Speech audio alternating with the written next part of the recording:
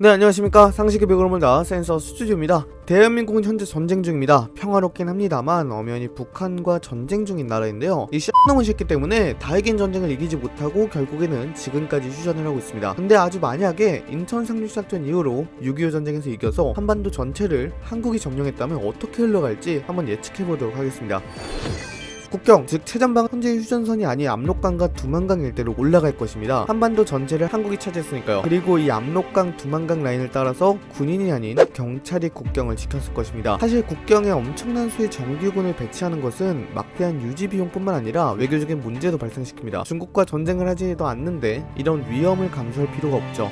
비교적 가벼운 무장을 갖춘 경찰들이 국경 경비를 담당할 것입니다. 그리고 중국과 전쟁을 하지 않는 이상 민간인들이 자유로운 왕래를 진행할 것입니다. 그러나 냉전의 우두머리 격이었던 중국군과 미군이 직접적으로 대치를 하다 보니까 남부적 불안감이 커졌을 것입니다. 우선 6.25 전쟁 종전 이후 미국으로부터 어마어마한 지원을 받았을 것입니다. 북한이 없어졌다 하더라도 그 위에 중국과 소련이 존재하기 때문에 냉전의 최전방에 있는 것은 변함이 없거든요. 그래서 미국으로부터 어마어마한 지원을 받았을 것입니다. 또 재건의 목적으로도 돈을 받았을 테니까 이 돈은 상상을 초월하겠죠. 대한민국 정부는 지원을 받은 돈을 바탕으로 경제 개발을 나섭니다. 그래서 전쟁에서 승리한 이승만 대통령이 국부로 우상화됐을지도 모릅니다. 한반도 역사상 통일한 사람은 문무왕과 태조 왕건밖에 없습니다. 그런데 6.25 전쟁에서 승리하여 통일을 했으니까 보니까 이승만 대통령이 문무왕이나 태조왕건처럼 국부로 취급되어 엄청난 대통령으로 평가받고 있었겠죠. 그리고 이 뜻은 제1공화국, 즉 이승만 정권이 상당히 연장되었을 수도 있다는 뜻이기도 합니다. 사실 대한민국이 이렇게 급속도로 성장한 이유 중 하나는 북한의 존재가 있어서 가능했습니다. 전쟁 당사국이 없다 보니까 실제 역사처럼 효율적인 경제 개발을 하려고 하지 않았겠죠. 좀 더 루즈한 경제 개발을 했을 수도 있습니다. 그리고 지금처럼 경제 대국이 되지 않았을 수도 있습니다. 그러나 미국의 자본 지원과 북한의 자원, 한반도의 인구수, 대한민국 정부의 추진력이 합쳐져서 이것을 상쇄시켜 버립니다. 오히려 더 발전시켜 버리죠. 북한의 히토리나 산림 자원 그리고 지하 자원 덕분에 더 빠르게 발전할 가능성이 큽니다.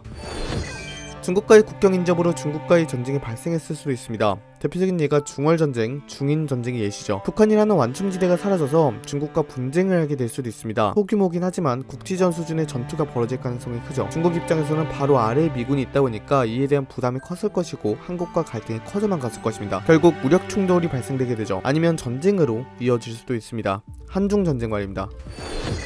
한반도에 사는 한민족의 인구가 1억이 넘을 것입니다. 즉 현재 일본의 인구와 비슷한 수가 되었겠죠. 지금도 한국과 북한의 인구수는 약 7,700만 명 정도입니다. 그런데 6.25 전쟁 승리 후 안정적인 경제 발전을 하게 된다면 인구수 1억을 넘는 것은 아주 쉬운 일이겠죠. 인구 부양력이 뛰어난 쌀을 주식으로 한 나라에다가 전후 세대의 베이비붐 덕분에 순식간에 1억 명이 될 것입니다. 그리고 현재 대한민국이 겪고 있는 저출산 문제도 거론되지 않았을 것입니다.